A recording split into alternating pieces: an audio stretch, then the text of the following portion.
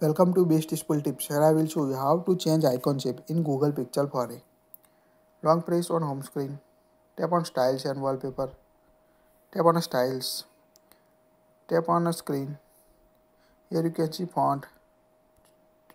Tap next. Tap next until you can see icon shape. Here you can see different icon shape round, rectangle, hexagon, square drop, square. Select icon you want to set in your Pixel 4a tap next. Enter the style. Tap apply. Now you can see change icon shape in your apps in your app drawer or home screen in your device. To again change go to setting display styles and wallpapers. Tap on edit.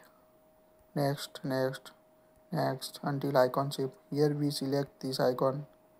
Tap on next. Apply. Now you can see change the icon shape in your app drawer or home screen. It's quite easy to change icon shape in your Pixel 4a on other latest Pixels. that's it. Like it share it. And don't forget to subscribe to get latest tips